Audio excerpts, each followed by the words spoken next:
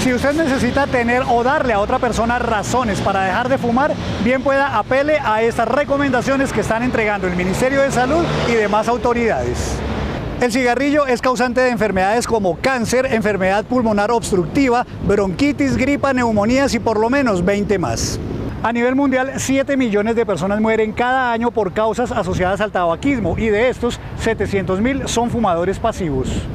Dejar de fumar le genera ahorros importantes de dinero. Dos cajetillas diarias, por ejemplo, equivalen a 3 millones de pesos al año.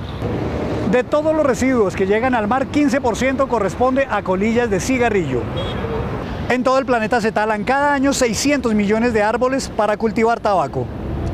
Además, los espacios destinados a fumadores son cada vez menos en restaurantes, hoteles, oficinas, almacenes y muchos otros lugares. Útil y rápido para tomar mejores decisiones.